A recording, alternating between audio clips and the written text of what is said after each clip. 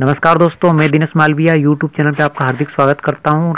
देखिए मित्रों, press note है राजस्थान कर्मचारी चयन बोर्ड जयपुर का 14 दिसंबर 2022 का। और रीट लेवल वन और टू वालों के लिए पदों के विभाजन की पूरी डिटेल में बताने वाला हूँ तो स्किप ना करें, पूरे वीडियो को कंप्लीट पूरे तरीके से देखें, लाइक, शेयर, सब्सक्राइब ज़रूर करें। बात करते हैं, संक्षिप्त विज्ञप्ति आ चुकी है, प्राथमिक और उच्च प्राथमिक विद्यालय अध्यापक लेवल प्रथम और लेवल द्वितीय के पदों पर सीधी भर्ती 2022 की और टीएसपी और नॉन टीएसपी में किस प्रकार से पदों का विभाजन किया गया उसकी बात अपन करते हैं।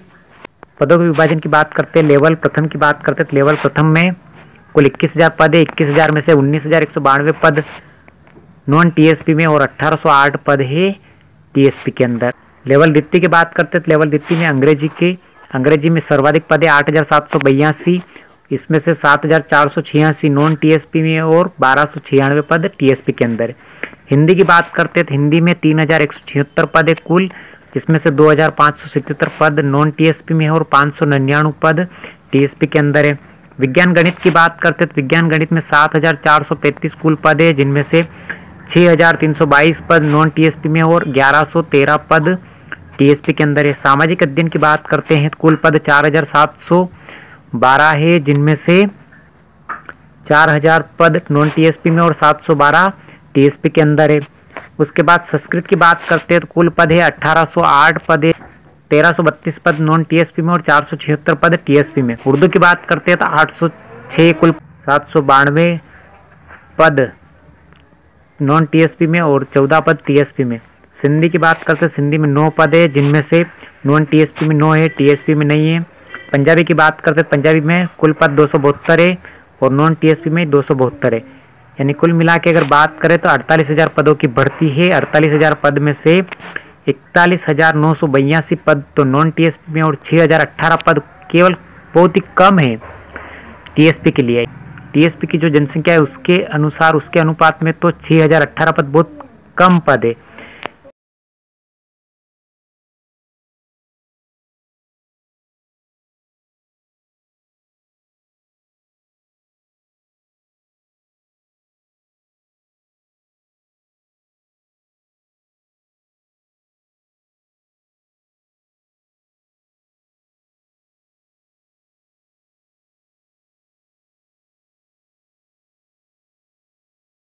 फॉर्म में आवेदन करने की तिथि है 21 दिसंबर से 19 जनवरी रात्रि 12 बजे तक है और आप एस एस के माध्यम से आवेदन कर सकते हो ई मित्र के माध्यम से या स्वयं भी कर सकते हो।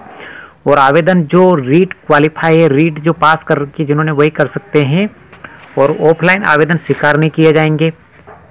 गैर अनुसूचित क्षेत्र के विज्ञापित पदों के लिए अनुसूचित क्षेत्र के अभ्यर्थी भी आवेदन कर सकते हैं, यानी नॉन टीएसपी के लिए टीएसपी के विद्यार्थी भी आवेदन कर सकते हैं लेकिन अनुसूचित क्षेत्र टीएसपी के विज्ञापित पदों के लिए राजस्थान राज्य के अनुसूचित क्षेत्र के मूल निवासी सद्भावी निवासी ही आवेदन कर सकते हैं टीएसपी के लिए केवल टीएसपी के विद्यार्थी ही आवेदन कर सकते हैं जबकि नॉन टीएसपी के लिए नॉन टीएसपी वाले आवेदन कर सकते हैं और टीएसपी वाले आवेदन कर सकते हैं यानी टीएसपी वाले नॉन टीएसपी और टीएसपी दोनों में आवेदन कर सकते हैं परीक्षा का माह एवं दिनांक भी घोषित कर दी गई है जो 25 फरवरी से लगाकर 28 फरवरी तक एग्ज़ाम होंगे।